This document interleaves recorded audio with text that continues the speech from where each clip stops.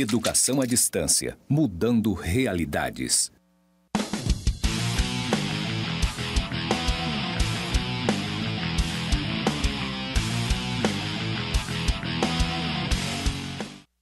Olá, aluno, tudo bem? Seja muito bem-vindo à nossa disciplina de administração da produção e operações, né, querido? Olha, se acomode, fique tranquilo. Nós estamos aqui nessa nossa aula de apresentação. Vou te trazer aqui tudo que nós vamos estudar nessas três unidades. Um conteúdo muito leve, um conteúdo muito tranquilo que vai te fazer refletir muitas coisas que acontecem na sua vida e você nem imaginava que faria parte da administração da produção e operações. Como assim, professor? Que história é essa de vai fazer refletir? É isso. Você está me vendo aqui exatamente por produtos tecnológicos que estão levando a educação até onde você está, seja no sítio, seja na cidade, seja em qualquer lugar do mundo, você pode estar me assistindo, assistindo os demais professores do nosso Instituto Federal de Rondônia por meio de produtos que são fabricados e são geridos aí por meio dessa administração da produção e, é claro, das operações. Mas calma, não vamos adiantar demais, senão tu começa a ficar, ai professor, lá vem conteúdo chato, não, conteúdo é ótimo, conteúdo é leve, é bem tranquilo e você vai aprender da melhor forma possível, seja muito bem-vindo. Vamos aqui então para a tela para você ver a apresentação. Eu sou o professor Alberto Bruno de Oliveira Viana, pode me chamar de Alberto, pode me chamar de Alberto Viana, pode me chamar de Bruno, enfim, dificilmente alguém me chama de Bruno. Sou mestre em assessoria de administração, sou pós-graduado em logística empresarial e também graduado em administração geral. E aí nós vamos trabalhar esse sementa aqui, volta aqui para mim, vamos trabalhar esse sementa aqui de uma forma bem tranquila, bem leve, com conteúdos exatamente relacionados a isso aqui, eu não posso fugir, mas você vai perceber que algumas nomenclaturas não vão bater igual, mas o conteúdo é exatamente o mesmo, você vai ver e eu vou explicar no material, também tem no material de apoio, que eu já digo para você desde já, eu convido você a acessar a nossa biblioteca virtual lá no SWAP, não esquece, todo o conteúdo que eu tirei, que eu elaborei, tá? Eu trouxe para elaborar essa disciplina, tá lá na nossa biblioteca virtual e também no material de apoio que a gente sempre disponibiliza cada um de vocês que estão aí nos assistindo. Então, vamos lá, coloca aqui de novo, nós vamos ver então planejamento e função da produção e operação, primeiro tema, tá? Sintomas, problemas e soluções no planejamento da produção. Nós vamos deixar isso muito bem claro para ti, tá bom?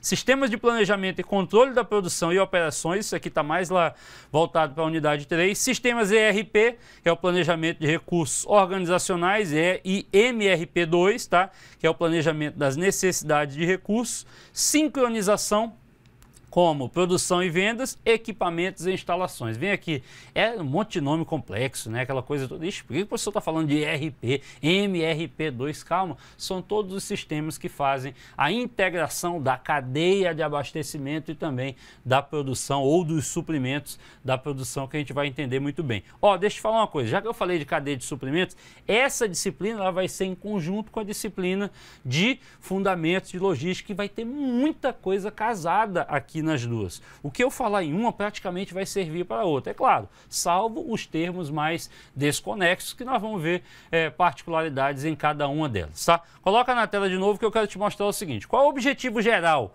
da disciplina? Adquirir uma visão integrada e estratégica sobre as ações que visem a melhoria. Grava essa palavra aí, meu filho, ó.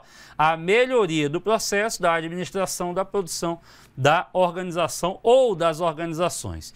E aí nós vamos trabalhar de uma forma bem tranquila as unidades temáticas. O que, que vai ter na unidade 1, professor? Nós vamos compreender, é a primeira coisa, compreender o conceito de administração da produção, as especificidades, as definições e também a evolução ao longo do tempo. Vem cá, tudo tem história.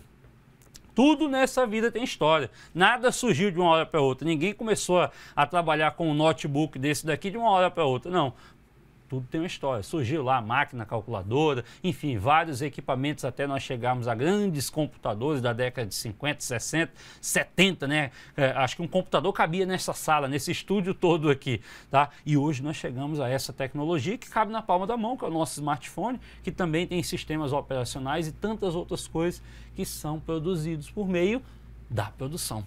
É isso, tá? E como é que gerencia tudo isso? Tem toda uma evolução que nós vamos ver. Vem de novo aqui, unidade 2. Conhecer o ciclo da produção e suas ferramentas e aplicações, tá? Na unidade 3, nós vamos identificar métodos que levem a uma eficácia e também eficiência na administração da produção. Enfim, na unidade de revisão, nós veremos todo o conteúdo, tá? Dentro aqui desse contexto que nós já passamos, o que vocês viram. E é claro, preciso passar para vocês o cronograma aí de avaliações da nossa disciplina. Período da disciplina, 16 do 11 a dia 7 do 12. E aí, filho, vem aqui, olha para mim. 16 do 11, não vai perder esse prazo. Até dia 7 do 12. É uma disciplina rápida, são só 40 horas. Onde você pensa que não... Passaram-se três unidades. Meu Deus do céu, eu perdi a primeira, eu perdi a segunda, eu perdi a terceira. Volta lá rapidinho no ambiente virtual de aprendizagem vai lá no ambiente, utiliza o ambiente virtual, que é onde vai estar todo o conteúdo, que é onde vai estar todos os módulos, todas as unidades. Assiste, reassiste as aulas lá. É coisa rápida. Eu não estou aqui para ficar duas horas falando com você, não, filho. Eu estou aqui para te passar o básico do conteúdo e tu vai ler, vai entender e com certeza vai aprender para poder é, é, responder as questões da prova. Tudo que tem na prova está aqui no conteúdo, está no AVA, está aqui eu falando, eu e você. Não é para você dormir. Eu sei que você está querendo cochilar. Cinco minutinhos de aula, você começa a dar aquela pestana. Para com isso, filho. Acorda. Acorda que nós estamos aqui. Coloca de novo aí na tela, ó. Avaliações, então, regular. O período de avaliações vai estar aberto a partir do dia 7, né, último dia ali da nossa é, disciplina, do, do, do conteúdo comum, como eu posso dizer assim. Então, a partir do dia 7 e 8 de dezembro. Tá? A segunda chamada, se você perdeu e justificou, não é simplesmente, ah, eu perdi, vou fazer segunda chamada. Não, tem que justificar, tá bom? Vai ser aberta lá no dia 13 do 12.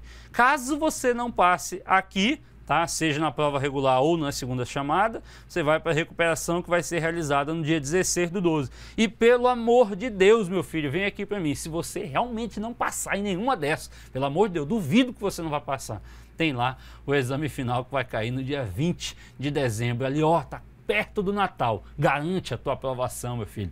Não deixa passar, não. É um conteúdo de qualidade que nós do Instituto Federal estamos levando até você, onde você esteja, mas para que você realmente aprenda e aproveite. É coisa rápida, é 40 horas, é rapidinho. Tá ok? Quais são as atividades de percurso? Coloca aí de novo, ó. Tarefa integrada com a disciplina, como eu falei para vocês, fundamentos de logística, tá? A disciplina que eu mesmo estou ministrando, tá? E um questionário, cada um deles valendo 50 pontos. Não é, não é, não é difícil, é coisa muito fácil. Tá aqui o cronograma das atividades, tá bom? A atividade de percurso 1, que é a atividade integrada, é uma tarefa de 16 a 25 do 11. E a atividade de percurso 2, que é um questionário, prazo de 23 a 2 do 12. Nesse período, você vai ter que responder tudo isso. Pode voltar, que eu quero te dizer o seguinte: desejo muito sucesso muito aprendizado, muito conhecimento nessa disciplina. Não se limite somente ao que eu vou falar, ao que está no material do AVA visite a nossa biblioteca, tem, tem muito conteúdo lá, conteúdo de valor, porque se eu realmente trouxesse tudo, aí a gente não ia sair daqui, meu filho. A disciplina, em vez de ter 40, ia ser uma pós-graduação inteira de 400 horas. Imaginem, é muito conteúdo, tá? Mas nós trazemos o básico aqui, sintetizado, para que você consiga aprender os principais fundamentos e termos. Desejo a você um ótimo estudo e até a próxima aula, hein?